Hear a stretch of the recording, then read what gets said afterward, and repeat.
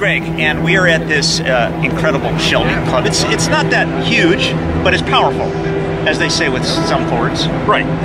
Well, Carroll Shelby back in 62 did something that General Motors or no other manufacturer did.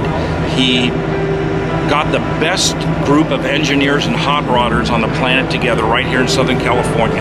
And he put together a company that went out and won the World Manufacturers Championship Yeah. in 1965. Shelby was basically a, uh, a subsidy of Ford.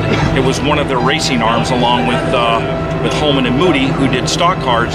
Shelby handled the sports car aspect of it, and all that history started several blocks away from us here in what is Venice. Ah, that's great. So you you uh, you you feel a personal stake with this? Oh, absolutely. I've owned, uh, I have an early GT350 and I've owned my car for going on 37 years now. Yeah. So I've been involved intimately with these cars for How- how old a is the long club? time. Uh, the club is 27 years old. It was Ah. founded in 1990. The National Club was founded in 1975. Yeah. Uh, the National SAAC Club. Yeah. And they are the keepers of uh, all the everything Shelby and Cobra. All these cars are serial numbered. Wow. They're all individualized, and we ensure that they are not faked. Oh, yeah. Uh, if someone wants to buy one, uh, we can verify the car for them because they've they've gone up substantially in value in these last Yeah. 50 years. That's awesome. What's the uh, the uh, website for the club? LAShelbyClub.com. There you go.